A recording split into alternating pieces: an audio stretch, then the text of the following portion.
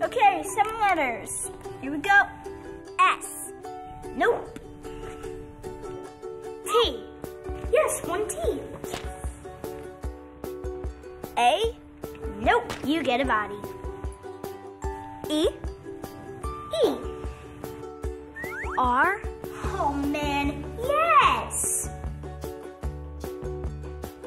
O. Mwah, mwah, mwah. Y. 26 letters. Pick that one. Hmm. N. Sorry, no N, just the leg. P. Wow, you guys are good. Yes. B. Yes, there's a B. Puberty. Ding, ding, ding. Yes. Is that really your word, Austin? Seriously, man, why'd you pick puberty? Because that's what we're learning about in health class next week. And I know you're all really excited. That's not funny, man. No, that's not funny at all. I just hope it's not going to be too embarrassing. Personally, I don't think it's going to be such a big deal. Yeah, me neither. My brother said he actually learned something, and trust me, he knows everything.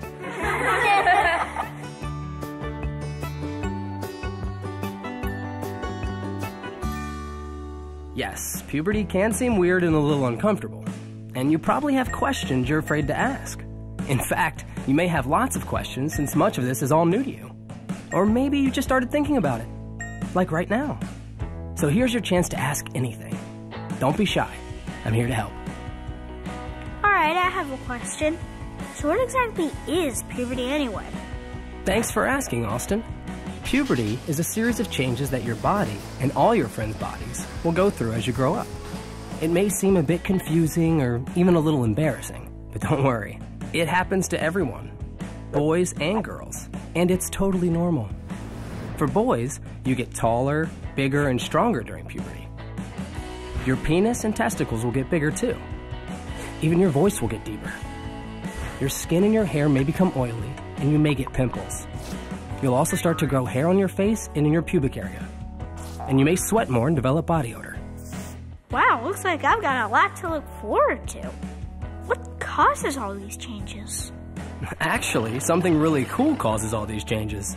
You see, it all starts here in a tiny little gland located under the front of your brain called the pituitary gland. As boys begin puberty, the pituitary gland sends a signal to your testicles to begin making a hormone called testosterone. The testosterone made by your testicles during puberty travels throughout your entire body and causes all the changes we just discussed. Girls go through this process too, but the hormone in charge of their body changes is called estrogen. This all seems pretty weird. Does every boy go through puberty? Like, even my dad? Yes, almost every boy in the world goes through puberty, Xavier. It's 100% normal and nothing to be ashamed of. And yes, your dad went through it too, and so did your uncle and grandpa. So if you have questions or need advice, don't be shy about asking. They can be a big help. Okay, so when does all this start? Puberty for boys usually starts between the ages of 10 and 17 and lasts for a few years. Everyone is different though, Connor, and it doesn't matter when you start. Your body will decide when the time is right. Now, the changes I talked about don't happen overnight. Actually, they happen slowly over time. Some of the changes you can expect will happen to your private area. Your penis and your testicles will start to get bigger and longer, and you'll begin producing sperm, which is the male reproductive cell. Your testicles will start hanging lower, and you'll begin to grow pubic hair at the base of your penis. You'll also grow hair in a few other new places, like on your face, under your arms, on your legs, and sometimes on your chest. Your body shape will fill out and be more like a grown man. Your chest and shoulders will become broader. Your muscles will become more developed, and you'll grow taller and you may gain weight. Your voice may also start to crack as it becomes deeper. These changes mean you're becoming a man, which all leads up to you being physically able to father children someday. But remember, a baby is a big responsibility, and you're probably not ready for that yet. I'm allowed to do so much more than I used to? How do I make good decisions and stay out of trouble? First of all, congratulations, Danny. That's exciting you have more freedom. And from your question, you understand that that also includes more responsibility. Remember, learning to make the right decisions for you is an important part of growing up. So when you're faced with a situation or problem you're not quite sure how to handle, try this. Think about all the different ways to handle it. Evaluate the solutions and predict what might happen. Act on the solution you think will have the best result and see what happens. That way, you'll learn if your solutions solve the problem in the right way. I feel like the shortest guy in class. Some girls are even taller than me. Am I ever gonna get taller? Yep, you will. Now, one thing that's helpful to keep in mind if you feel a little on the short side is that girls tend to mature faster than boys. You're definitely going to get taller, and you might even catch up to the girls in your class within a couple of years. Now, how tall you'll be when you're grown up is harder to predict, but a lot of it depends on your family. If your parents are tall, then chances are you'll be tall too. And if they're shorter, then you might be shorter too. Everyone is different though and grows according to his or her own schedule. But in general, boys tend to grow in spurts that happen off and on until your late teens. Just keep reminding yourself that you're developing on your own schedule, which is perfectly normal. My dad has a really deep voice. Will my voice change too? Most likely. You see, Xavier, just like your pituitary gland and testosterone tell the other parts of your body to grow, they also tell your larynx or your voice box to grow. And when your larynx starts growing, it causes your voice to start to change and sound deeper. Sometimes it does something called cracking as it deepens, which can make you feel a little silly if it happens in the middle of a sentence. But it just means that your larynx is still growing. Eventually, your new voice will settle down and even out. Who knows? You may even start to sound like your dad. Testing, testing. My parents are always nagging at me to take a shower every day. Why do I need to do that? So you won't smell. Now, no offense, Danny, but another thing your body does during puberty is jumpstart your sweat glands. You see, we're all born with two kinds of sweat makers. The first kind is called eccrine glands, and they produce a clear, odorless perspiration that cools your body when it gets too hot. Even babies sweat like this because your eccrine glands start working as soon as you're born. The second type of sweat glands is called apocrine glands, these get switched on during the hormonal changes of puberty. And when the sweat they produce mixes with bacteria on your skin, it can cause body odor, also known as BO. A lot of apocrine glands are located under your arms, so this can be a really smelly area. So, what's the best way to deal with BO? Take a shower or a bath every day, and be sure to use soap or body wash. Another way to help minimize BO and feel less stinky is to use a deodorant or a deodorant with antiperspirant to help keep body odor in check. But what about my face? Am I gonna get pimples? Oh, that depends. You see, besides sweat, there's something else your body will start producing during puberty. It's called sebum. It's an oily substance that can cause acne, also called pimples. Acne is really common during puberty and can't always be prevented, even by washing all the time.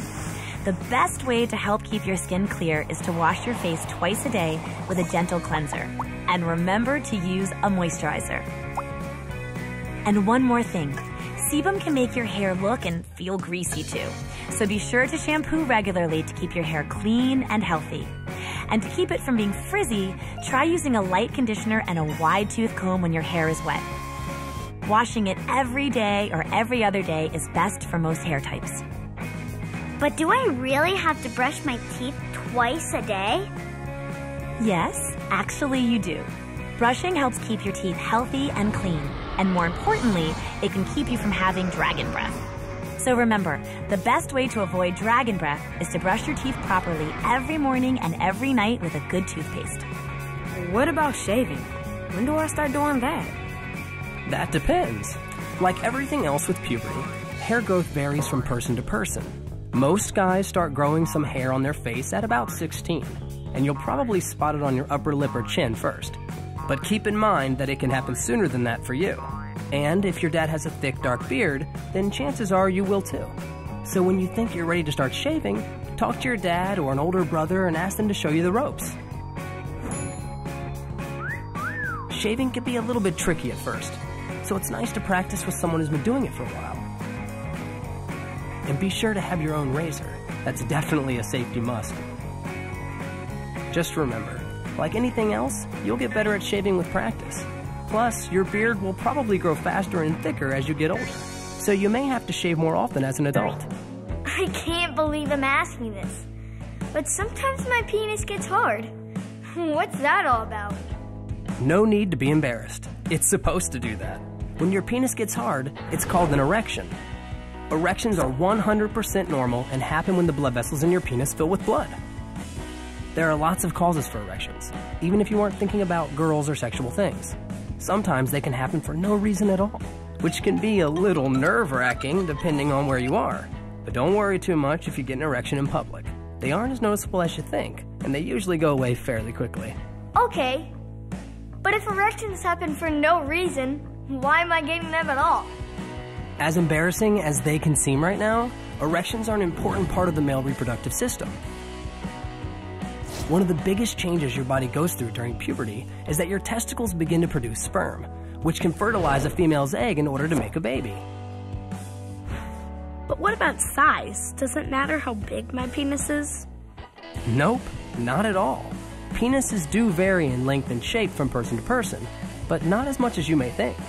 The size of your penis has absolutely nothing to do with how manly you are or whether you can become a father one day. So don't worry about it. Sometimes I wake up and my pajama bottoms are sticky. Is that normal? Some people call what you're describing a wet dream, or what your health teacher calls a nocturnal emission. Wet dreams happen when you ejaculate in your sleep. You won't know what's happening, and it's not always caused by dreaming about girls or sexual things. It just happens. Most boys will have wet dreams at one time or another, especially during puberty, so there's nothing to get upset about. Plus, you'll probably grow out of it as you get older. I live with my mom. Do I have to talk to her about all this stuff? Listen, it's really up to you. I know what's happening to your body can seem embarrassing, but it's a normal thing that every guy goes through. And of course, your mom doesn't know what it's like to go through everything you're experiencing, but she does understand why and how it happens. So if you feel comfortable talking to your mom about the changes you're seeing and feeling in your body, then great. She may actually surprise you with how cool she is about it. If you prefer not to talk to her, though, that's fine too. If it makes you more comfortable, then talk to a step parent, your dad, an older brother, a friend's dad, or another adult you trust. What can I do to stay healthy while my body goes through all these changes? The three things you need to do during puberty are eat properly, exercise, and get plenty of rest. Select a healthy range of foods that will help you get all the vitamins and nutrients your body needs. And minimize junk food. Eat lots of fresh fruits and vegetables, proteins like meat, milk, eggs, and beans, and complex carbohydrates like whole wheat breads, pastas, and cereals. Another way to be healthy as you're growing into your new body is to exercise every day. Try going for a walk, riding your bike, or dancing to your favorite song. It will keep your body strong and healthy, and it's a lot of fun too. And most importantly, get plenty of sleep. About eight to nine hours every night. That way, your body has lots of energy for the next day. What if I have more questions that come up? Who should I ask? The best place to start is to talk to your mom, dad, or another adult you trust. It can be your aunt, a friend's mom, your grandmother, or an older sibling who's been there and done that. I know that asking questions about puberty may seem a little embarrassing at first, but don't be afraid. They've all been through puberty themselves. So when you have questions, don't wait. Start the conversation. Trust me, you'll feel better after you do. And you'll feel good knowing that the people you love and trust can be there to help.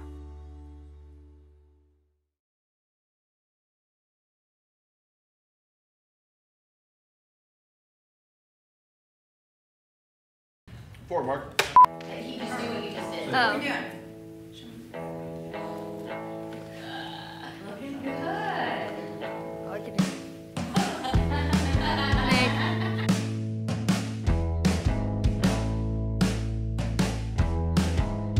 Pou!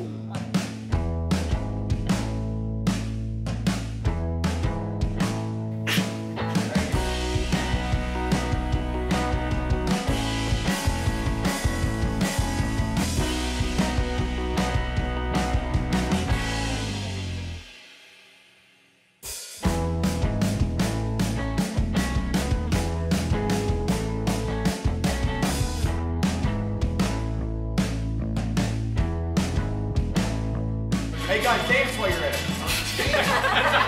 What do you want, Short? Emily you went face down.